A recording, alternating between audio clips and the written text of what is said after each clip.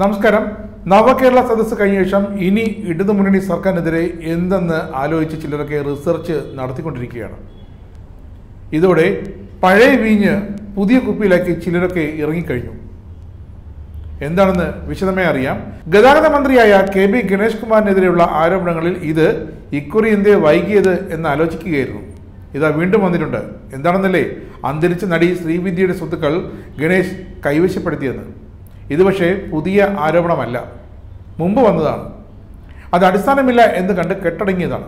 ഇപ്പോഴിതാ ഗണേശൻ വീണ്ടും മന്ത്രിയായപ്പോൾ ആ ആരോപണം വീണ്ടും ഉയർന്നു ശ്രീവിദ്യയുടെ സഹോദരന്റെ ഭാര്യ വിജയലക്ഷ്മി നടത്തിയ ചില ആരോപണങ്ങളാണ് ഇപ്പോൾ വീണ്ടും മാധ്യമങ്ങളിൽ ചർച്ചയാകുന്നത്. ശ്രീവിദ്യയുടെ സ്വത്തുക്കൾ കൈവശപ്പെടുത്തിയതടക്കം നടനും രാഷ്ട്രീയ പ്രവർത്തകനുമായ ഗണേഷ് കുമാറും തമ്മിലുള്ള ബന്ധത്തെക്കുറിച്ചായിരുന്നു വിജയലക്ഷ്മിയുടെ ഇപ്പോഴത്തെയും വെളിപ്പെടുത്തൽ. ഇതിൽ പുതുമയൊന്നുമില്ല ഒരു കഴമ്പുമില്ലെന്ന് എൽ ഡി എഫ് നേതൃത്വത്തിന് ആദ്യമേ തന്നെ ബോധ്യമുണ്ടായിരുന്നു. Party secretary M V Govindan master പറയുന്നത് പോലെ ജാഗ്രതയുള്ള പാർട്ടിയാണ് സി പി എം. ഒപ്പം ഒന്നിലധികം കോണുകളിൽ നിന്നും ഉയരുന്ന വിമർശനങ്ങളെയും ഉൾക്കൊള്ളും. അങ്ങനെ ഗണേഷിനെതിരെ ഉയർന്ന ആരോപണങ്ങൾ കഴമ്പില്ലാത്തതാണെന്ന് ബോധ്യമുള്ളത് കൊണ്ടാണ് വീണ്ടും ഗതാഗത മന്ത്രിയാക്കാൻ രണ്ടാം പിണറായി സർക്കാരിന്റെ തുടക്കത്തിൽ തന്നെ ഗണേശിനെ റിസർവ് ചെയ്ത് വച്ചിരുന്നതും ഇപ്പോൾ അത് നടപ്പാക്കിയതും.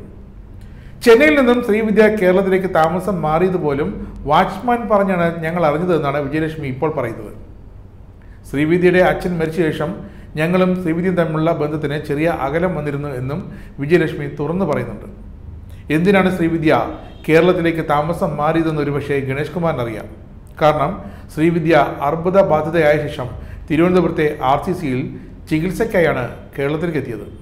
അതും ഗണേഷ് കുമാർ ഏറെ നിർബന്ധിച്ച ശേഷം. ബ്രസ്റ്റ് ക്യാൻസർ ആയിരുന്നു ശ്രീവിദ്യയ്ക്ക്. എന്നാൽ താൻ അർബുദ രോഗബാധിതയാണെന്ന് ശ്രീവിദ്യ പുറം ലോകത്തോട് പറഞ്ഞിരുന്നില്ല. ഏറെ വൈകിയാണ് ശ്രീവിദ്യ ചികിത്സ തേടുന്നതും. ആർ സി സിയുടെ സ്ഥാപക ഡയറക്ടറായിരുന്ന അന്തരിച്ച എം കൃഷ്ണനായർ സാറിന്റെ ആത്മകഥയിലും പേരെടുത്ത് പറയാത്ത ഒരു നടിയുടെ രോഗവിവരത്തെക്കുറിച്ച് സൂചിപ്പിക്കുന്നുണ്ട്. രോഗത്തിന് ചികിത്സ തേടി ശ്രീവിദ്യ ഏറെ വൈകി ആർ സി സിയിലെത്തുന്നത് രോഗത്തിന്റെ അവസാന നാളുകളിൽ തന്നെയായിരുന്നു. കീമോതെറാപ്പി ചെയ്യാൻ അവർ ഭയപ്പെട്ടിരുന്നു എന്നാണ് ജ്ഞാന വാരികയിലെ ഒരു ലേഖകൻ എഴുതിയത്. അവർ ഭയപ്പെടാൻ കാരണമെന്ന് പറയുന്നത് കീമോതെറാപ്പി ചെയ്താൽ അവരുടെ സൗന്ദര്യം നഷ്ടമാകുമോ എന്ന ഭയം കൊണ്ടായിരുന്നുവെന്നും വാർത്തകൾ വന്നിരുന്നു. മാത്രമല്ല കൃഷ്ണനായുടെ ആത്മകഥയിൽ മറ്റൊരു കാര്യം കൂടി സൂചിപ്പിക്കുന്നുണ്ട്. ശ്രീവിദ്യയുടെ കരളിന്റെ ശക്തി കുറഞ്ഞിരുന്നുവെന്ന്. എന്നിട്ട് വിജയലക്ഷ്മി വീണ്ടും പറയുന്നത് എന്താണ്? രണ്ടായിരത്തി മൂന്നിൽ അവർക്ക് ക്യാൻസർ ഉണ്ടെന്ന് കണ്ടെത്തിയിരുന്നു. പിന്നീട് സർജറി നടത്തിയിരുന്നു. പക്ഷേ ഞങ്ങൾ അറിഞ്ഞതുമില്ല ആരും പറഞ്ഞതുമില്ല. രണ്ടായിരത്തി ആറിൽ ശ്രീവിദ്യ തന്റെ സ്വത്ത് മുഴുവൻ ഒരു വിൽപത്രമാക്കി അതിന്റെ പവർ ഓഫ് അറ്റോർണി ഗണേഷ് കുമാറിന്റെ പേരിലാക്കിയതാണ് ഇപ്പോഴത്തെ ആരോപണങ്ങൾക്ക് തുടക്കമിടാൻ കാരണം. തന്റെ സമ്പാദ്യം ഉപയോഗിച്ച് ഒരു സംഗീത നാടക അക്കാദമി കുട്ടികൾക്ക് വേണ്ടി തുടങ്ങണമെന്നായിരുന്നു ശ്രീവിദ്യയുടെ ആഗ്രഹം. തിരുവനന്തപുരം പി ടി പിയിലെ വീട് ചെന്നൈ മഹാബലിപുരത്തെ ഫ്ളാറ്റ് പതിനഞ്ച് ലക്ഷം രൂപയുടെ ബാങ്ക് നിക്ഷേപം അഞ്ഞൂറ്റി എൺപത് ഗ്രാം സ്വർണം ഒന്നര കിലോ വെള്ളി എന്നിവയാണ് ശ്രീവിദ്യ ഗണേഷ് കുമാറിനെ ഏൽപ്പിച്ചത്. ഇതൊക്കെ ബാങ്കിൽ ഭദ്രമാണ്. എന്നാൽ ചെന്നൈ മഹാബലിപുരത്തെ ഫ്ളാറ്റ് ശ്രീവിദ്യ ആദായ നികുതി ഇതുവരെ അടയ്ക്കാത്തതിനാൽ ഇപ്പോൾ ലേലത്തിൽ വച്ചിരിക്കുകയാണ്.